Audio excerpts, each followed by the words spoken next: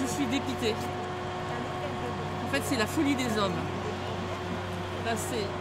C'est, vraiment n'importe quoi. Les arbres sont précieux. On avait un produit clé en main. On aime ça, hein, les produits clés en main maintenant. hein.